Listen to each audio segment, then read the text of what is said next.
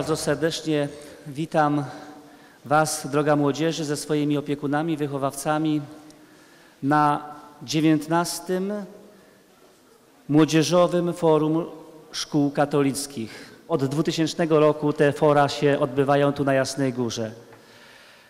To jest miejsce szczególne dla każdego Polaka, bo przecież tu na Jasnej Górze spotykamy się z naszą matką, a Jasnogórska Pani jest królową, jest patronką Rady Szkół Katolickich i dlatego tutaj co roku we wrześniu już po raz dziewiętnasty spotykamy się, aby spotkać się między sobą, aby ci, którzy są zaproszeni, przeprowadzili nas przez meandry zagadnień, które są przygotowane na dane, dane forum, ale przede wszystkim po to, aby się też spotkać z naszą matką. Jest nas prawie dwa tysiące. Każdy z Was otrzymał taką książeczkę.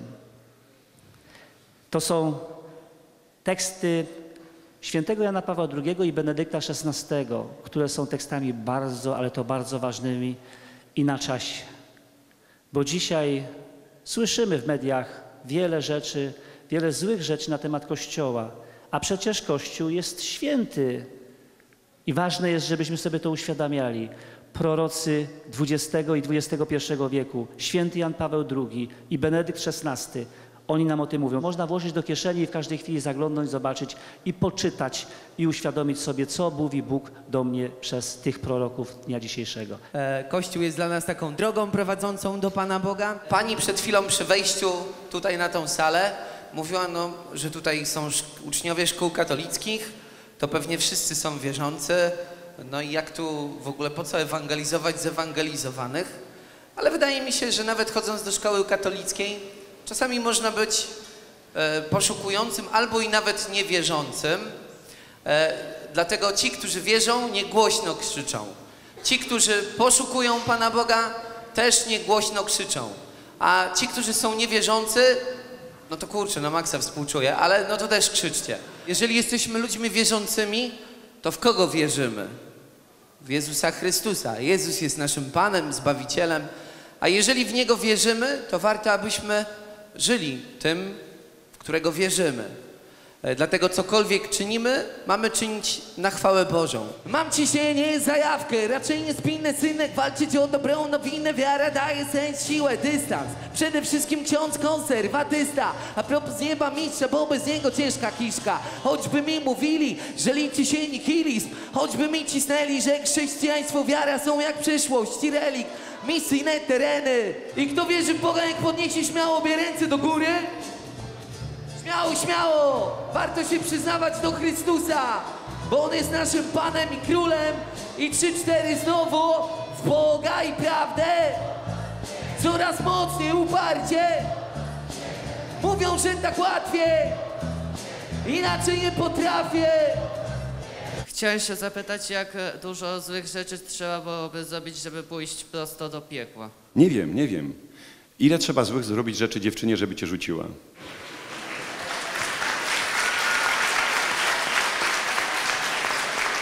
Problem jest taki, że oczywiście Pan Bóg nie jest taki, że się będzie może obrażał, może jak my ludzie, tylko że do piekła nie pójdą ci, którzy do piekła pójść nie chcą. Bo każdy ma prawo do piekła, każdy ma prawo do nieba, jest wolność. I nam się dzisiaj wydaje, proszę księdza, ale co ksiądz gada, nikt nie chce iść do piekła. No Naprawdę, nawet sobie nie wyobrażacie, że ludzie no, chcą iść do piekła. My chcemy po prostu. Iść do piekła to znaczy zdecydować się na to, że ja Jezu nie chcę być z Tobą, ja chcę być z kimś innym. W każdym momencie, kiedy ja grzeszę, to ja się decyduję na piekło. Błogosławiony Józef Sebastian Pelcza w swoim y, takim medytacjach na temat kapłaństwa pisze o księdzu, który tak się zakochał w kobiecie, zrezygnował z kapłaństwa, że na łożu śmierci, jak chcieli, żeby się pojednał z Bogiem, powiedział, że woli iść do piekła z tą kobietą, niż w niebie być sam. Możesz wejść w taką uzależnienie, możesz wejść w takie po prostu, w taki stan, jak ten, jak ten zły łotr na krzyżu, że będziesz miał Pana Jezusa koło siebie, ale zamiast gosić go, prosić Go o pomoc, to jeszcze będziesz miał pretensje. I to jest właśnie, to nie jest, to nie jest kwestia, wiecie co, ilości grzechów. Bo naprawdę można wielkie grzechy zrobić i taki święty Paweł, e, św- czy święty Augustyn, czy wielu innych świętych naprawdę było większymi grzesznikami niż wy, to nie o to chodzi. Ale możesz doprowadzić w życiu e, siebie do takiej sytuacji, że cię Jezus nie będzie w ogóle interesował, że nie będziesz chciał z Nim spędzić wieczności, że to po prostu nie będzie atrakcyjne. Ja jestem bardzo ciekawy, bardzo też ciekawy, ilu ludzi z młodzieży pójdzie na film Claire. Nie dlatego, żeby mieli zakaz, ale żeby tylko porównać, ilu z nich było na brzegach, a ilu będzie na filmie.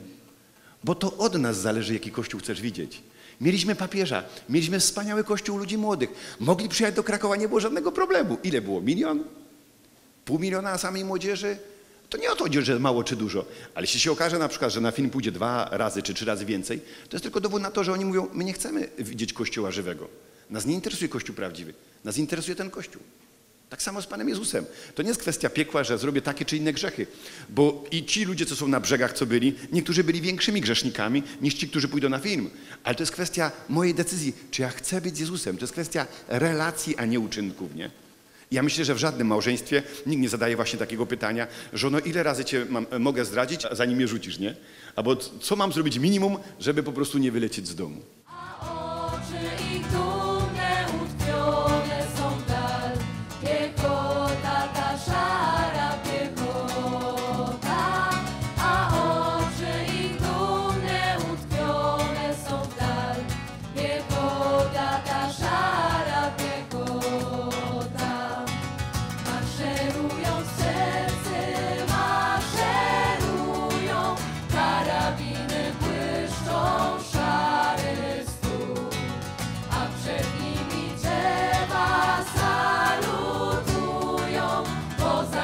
Naszą Polskę idą w gór. Jak się odnosić do różnych patologii, które się dzieją w kościele? Piszą dziennikarze o różnych, ym, o pedofilii i o innych takich rzeczach. Jak się do tego od- odnosić, jeżeli osoba, która właśnie nie jest pozytywnie nastawiona do, y, do kościoła z tych względów, jak można jej to wyjaśnić? Jeśli ktoś jest źle nastawiony, to trzeba się naprawdę modlić i go kochać, bo nic się nie zmieni. W życiu wszystko zależy od nastawienia. Jak wiaderko postawisz dnem do góry, to choćby cały dzień lało, to będzie puste. Nie dlatego, że deszcz nie padał, tylko że się źle nastawiło, nie? Można po, można po prostu mieć pretensje, że, że młodzież stoi e, na mszy świętej na zewnątrz kościoła pod drzewami i mówić, młodzież, dlaczego nie wchodzi do kościoła, to msza jest niezaliczona, bo stoicie pod drzewami. Ale można popatrzeć na to całkowicie pozytywnie, powiedzieć, Boże, 25 milionów Polaków w niedzielę nie poszło do kościoła, a ten chłopak doszedł aż do lipy. No to, to jest kwestia nastawienia. To nie jest tak i nigdy tak nie będzie, że w kościele będą ludzie, którzy nie popełniają grzechów. Były grzechy, są i będą. To nie jest tak, że papież, o super, on zawsze będzie po prostu święty. Że biskupi będą święci. Powinni być, ale myśmy nie powinni być. Czy wy, uczniowie szkół katolickich, nie powinniście być lepsi od, od niewierzących? I czy jesteście? I czy to też nie jest patologia, że ściągacie? Ludzie dlaczego mają problem? Bo nie są księżmi. Gdybyście byli księżmi, to byście nie mieli tego problemu, co mają świeccy. Ja, który 20 lat spowiadam, to ja tą patologię codziennie słyszę. Jak ja widzę, że co, 40% mężczyzn zdradza, to co ja się będę denerwował, że przyjdzie ksiądz i zdradził? Po prostu, przecież, po prostu wiem, że jesteśmy tak samo słabi, jak wy jesteście słabi. Takie same grzechy popełniamy. Że co, że jest 1500 skazanych za pedofilię w Polsce i dwóch jest księży? No smutno mega, że jest tych dwóch księży. Nie o to, żeby porównywać. Ale po prostu jesteśmy, jesteśmy słabi. Są wśród nas Judasze. Sam jestem Judaszem i to jest smutne, natomiast chcę się poprawić. Natomiast przestać myśleć takimi kategoriami, że w Kościele usuniemy wszystkich grzeszników. I kto wtedy zostanie w Kościele? Pan Jezus z Matką Bożą, nie? Będą sobie odmawiać litanię do serca Pana Jezusa i, i loretańską nawzajem, nie? No po prostu, no kto zostanie w Kościele? Kto jest bez grzechu? Niech pierwszy rzuci kamień, nie? My nie rozumiemy tej przypowieści o kobiecie cudzołożnej. My mówimy, o, przecież co ona złego zrobiła?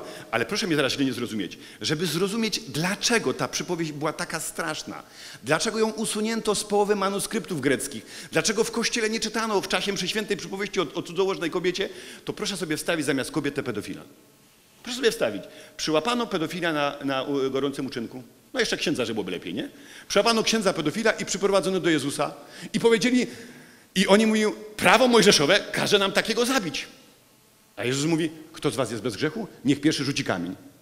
No gdyby to było dzisiaj, to by poleciały kamienie. Ale oni, chociaż byli zepsuci, zaczynali się wysuwać jeden po drugim i Jezus mówi do niego, nikt cię nie potępił? Ja ciebie nie potępiam. Idzie, ale od tej chwili już nie grzesz. Kościół to nie jest miejsce, gdzie są święci. Trzeba wsadzać do więzienia, trzeba po prostu y, absolutnie nie chować pod dywan, trzeba przede wszystkim chronić dzieci, robić wszystko, żeby te dzieci po prostu były chronione. Natomiast trzeba przestać myśleć takimi kategoriami, że Kościół to jest miejsce, że jest taki supermarket albo muzeum, że będą sami niewinni. Nie, nie, nie, nie, tak, tak się po prostu nie da.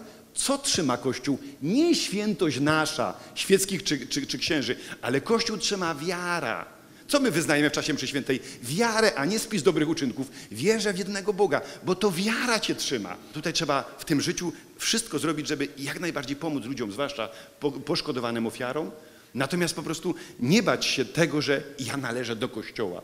Nie wstydzić się tego, że, bo, bo za chwilę się będę wstydził, że jestem Polakiem, że jestem po prostu, że jestem obywatelem tej ziemi. Wstydzicie się, że jesteście ludźmi? A kto zrobił Auschwitz, jak nie ludzie, nie? Może mi przyjdzie polec tak samo jak tyle tysięcy, tysięcy.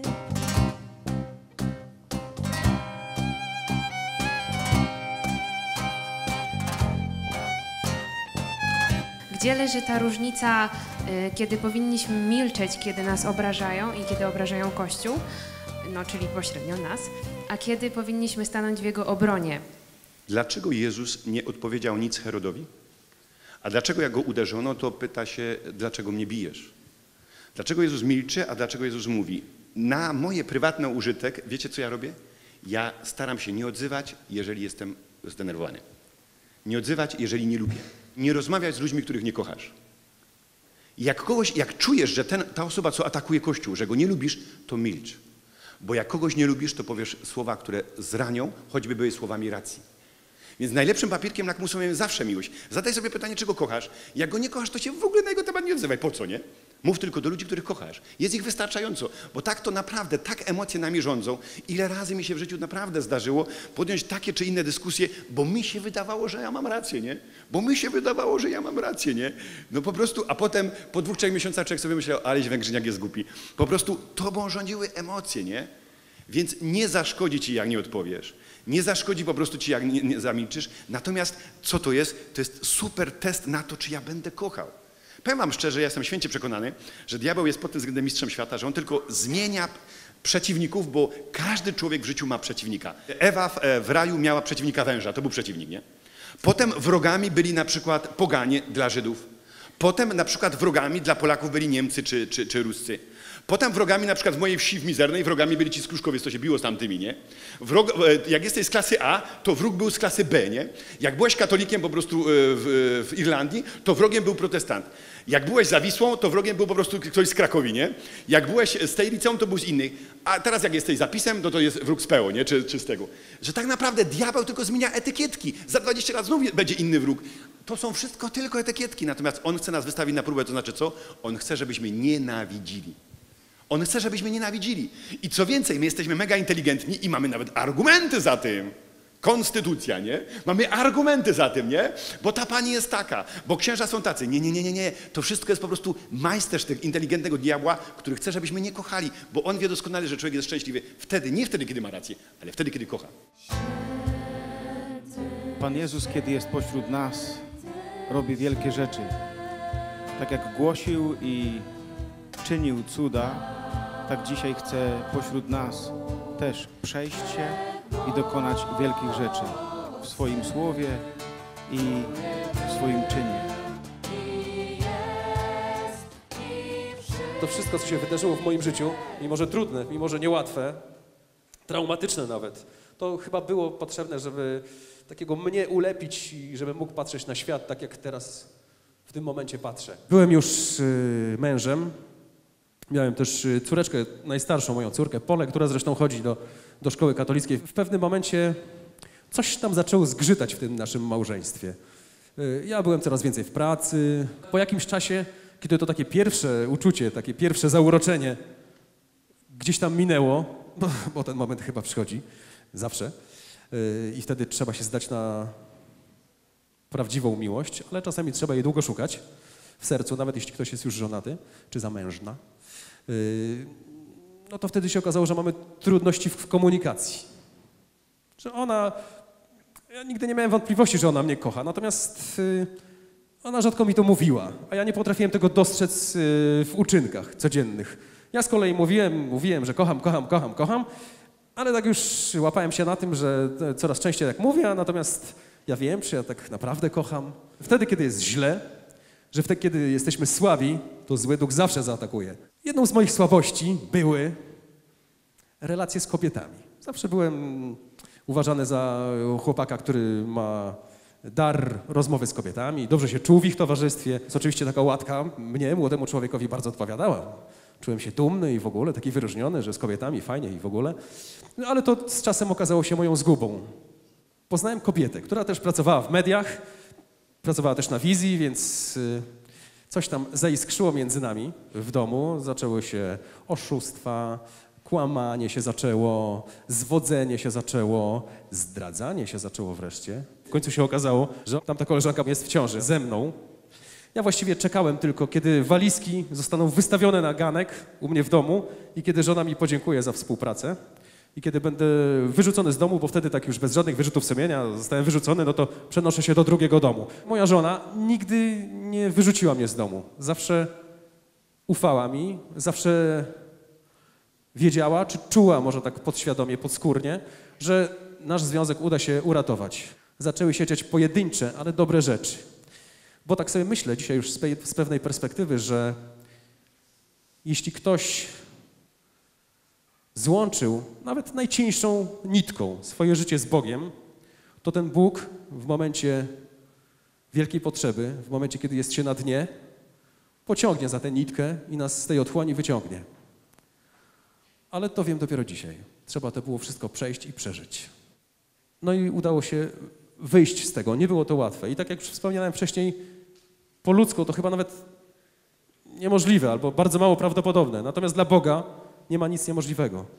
Związek, który On pobłogosławił, był czymś świętym i wyciągnął nas z tego, wyobraźcie sobie.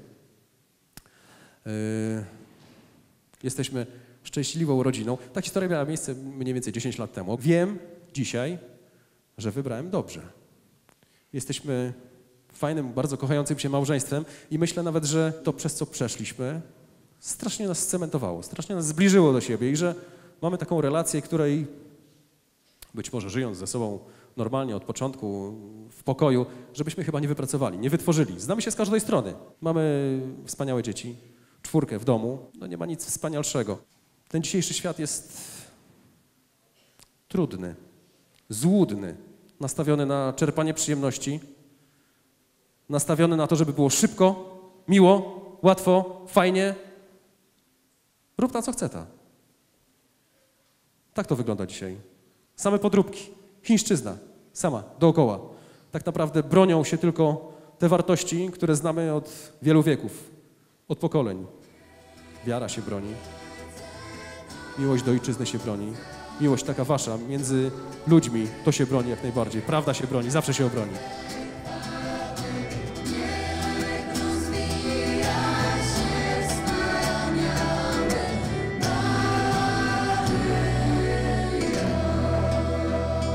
Pan Bóg przemawia do nas nie tylko przez Pismo Święte, ale również przemawia przez osoby, przez ludzi, przez zdarzenia.